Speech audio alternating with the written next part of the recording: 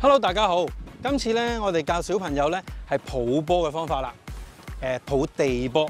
咁佢哋点做咧？佢需要又系一个好正常嘅诶平时嘅 set position 啦，准备动作啦，平脚啦。